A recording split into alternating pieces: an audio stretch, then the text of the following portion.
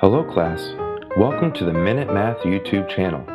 Please hit the subscribe button below and share our videos. You can also find great math content and links to all of our videos at www.minutemathtutor.com. Alright now, enjoy the lesson. Hi, I'm Sean Gannon, and this is Minute Math, and today we're learning about divisibility and factors. We're going to state if the first number is divisible by the second number. So, if I was given these numbers, 780 by 10, and 780 divisible by 10. First clue is ending in 0. Since 780 ends in 0, it is divisible by 10. So quick answer is yes. But how else can we show this? Well, let's look at long division. Does 10 go into 780 evenly?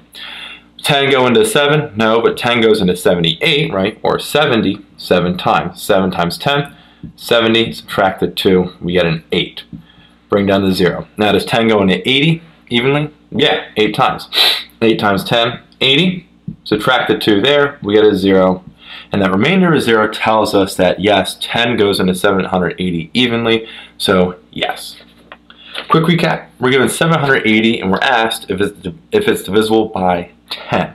Quick answer, yes. Ends in a 0, divisible by 10. We also confirm that by doing long division. 10 into 780 went in evenly 78 times with a remainder of 0. So again, goes in evenly. Remainder of 0 is the kicker there. So again, final answer is yes. Hi, I'm Sean Gannon, the creator of Minute Math. And if you like this video, please hit the like button that's right there. If you have a mathematical question, just add it to the comment section below. And lastly, if you want to see more videos just like this one, hit subscribe. It's right there. But as always, thanks for watching.